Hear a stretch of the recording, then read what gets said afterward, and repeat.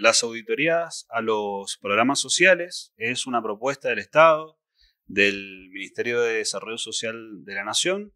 para, tener un control, saber eh, en qué estadio están, tener una, radiografía de cuál es el estado de situación de los eh, diferentes programas sociales, sobre todo el potenciar trabajo. Recordemos que hay 1.300.000 potenciar trabajo eh, en la Argentina.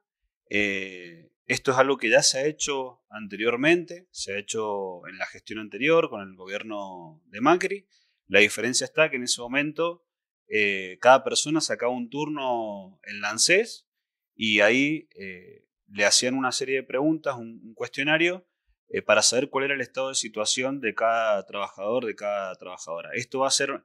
parecido, la diferencia estará en que se, se hará en las unidades productivas de trabajo, en los lugares de trabajo. Cada persona que, recibe un potencial trabajo eh, la unidad de gestión a la que pertenece debe, debe convocarla, le dirá un día, un horario, un lugar a donde se tiene que presentar, que va a ser el, día del, cuestionario. Eh, lo mismo que pasó en la gestión anterior, que se iba al ANSES, se sacaba un turno, bueno, esto va a ser parecido, nada más que hay una coordinación eh, entre la unidad de gestión y la, unidad académica que vaya a realizar la, la entrevista, digamos el cuestionario. Eh, la inmensa mayoría